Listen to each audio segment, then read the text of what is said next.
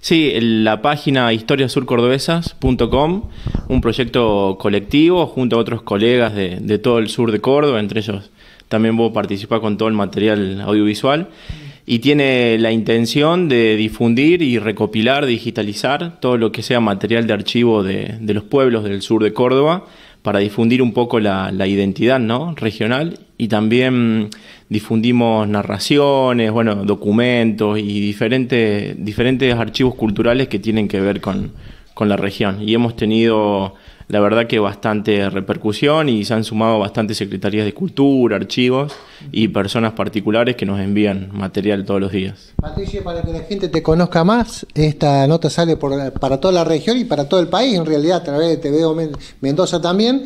Este, presentate en sociedad, presenta tu currículum, digamos. Bueno, sí, mi nombre es, es, Patricio Pantaleo y soy docente en historia, profesor de historia, licenciado en historia. Eh, y bueno, y, trabajo hace algún tiempo en la docencia de nivel terciario, en el nivel universitario también he trabajado, y en, archivos, ¿sí? acomodando y organizando fondos, recuperación de fondos y, digitalización en, consonancia con otros, con otros organismos de nivel nacional. ¿Estuviste trabajando en San Luis también? Sí, sí, actualmente también trabajo en San Luis y de hecho toda la docencia que he realizado a nivel terciario y universitario le he hecho en, la provincia de San Luis. El tema pasaría también por si bien se, se, está marcando el sur de Córdoba, si hay gente del país que está escuchando y tiene referencia de esta zona que haya vivido, que haya habido familiares de Roca, de Sarmiento, como dijiste vos en algún momento. Eh, inclusive de Levalle, en Mendoza también hay gente familiares del, General Levalle, que bueno, la localidad acá lleva el nombre del General Levalle. Lleva el, nombre de, de General Levalle eh, y ahí es donde la región se toca con, los procesos a nivel nacional, ¿no? Una vez ve lo local, lo regional como circunscripto, como que no tiene relación y sí, eh, analizando la historia y viendo el material de archivo uno puede ver que lo, lo regional y lo local tiene relación y de hecho construye ese proceso nacional, histórico, político. Hay un viajecito a Villa Sarmiento, vos lo dijiste. Eh, ¿Qué marcas de esa historia vos? Un poco. Bueno, Villa Sarmiento es uno de los principales asentamientos, primeros asentamientos, no principales, de acá del sur de Córdoba y de ahí parte la línea, la línea de Fortines del río Quinto, ¿no? cuando se avanza a fines de la década del 60 acá en, la provincia de Córdoba, Villa Sarmiento es, es como el lugar inicial y de hecho una de las grandes obras literarias de la Argentina, que es una excursión a los indios ranqueles de Mansilla, eh, tiene los primeros de sus capítulos asiento en, Villa Sarmiento, ¿no? que luego con el paso del ferrocarril y el avance de una frontera comercial, agrícola, eh, entra en decaimiento, pierde importancia y, todo lo que es asentamiento poblacional ya se transfiere un poco más eh, a, lo que es la línea ferry, la línea ferrocarril, en, lo que es la ruta 7 ahora. ¿no?